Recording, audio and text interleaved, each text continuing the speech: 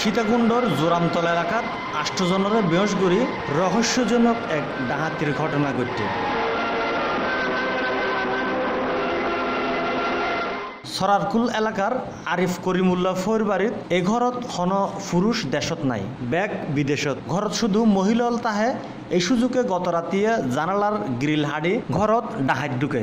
বেয়া করে বিয়স গড়ি আলমারি ভাঙ্গি স্বর্ণালঙ্কার টিয়াসহ মূল্যবান জিনিসপত্র ডাহাতি করে লই যাবি গত রাতিয়ে হন এক সময় ডাহাইতল ঘরত ঢুকি হালিমা হাতুন, শাহনাজ বেগম, শামিমা আক্তার, তসলিমা আক্তার রিদুয়ান মাইমুন, আরিফ ও মিম নামৰ এই আষ্টজনরে বেহস গড়ি ডাহাতি গড়ে বলে জানা যায়। কি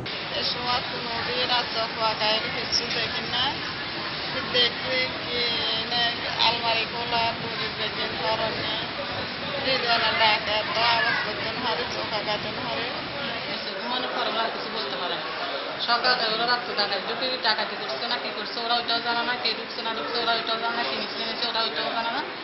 সকালে আশেপাশের লোকজন, ওরা না উঠতেছে দেখে, সকালে আসতেছে, আসে দেখল আর কি ওরা সবাই ঘুমিয়ে আছে মরার মতন। সবাই এসেছে চিল্লেবেলা করার পরে অনেক লোকজন আসলো। পুরুষ মহিলা আসার পর তারপর দেখল এরকম।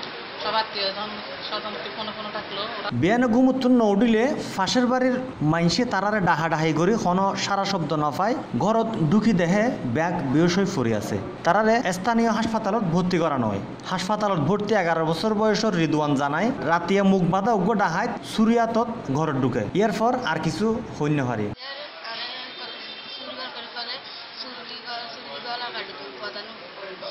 আর কলে শোয়া দিছে তারপরে শোয়া আর